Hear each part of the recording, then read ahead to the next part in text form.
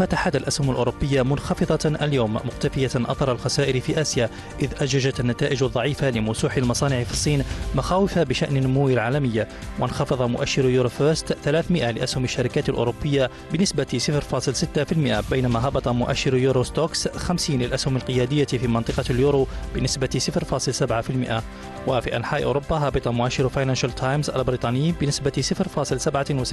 0.67% بينما نزل كاك الفرنسي بنسبة 1.07% والداكس الألماني بنسبة 0.84%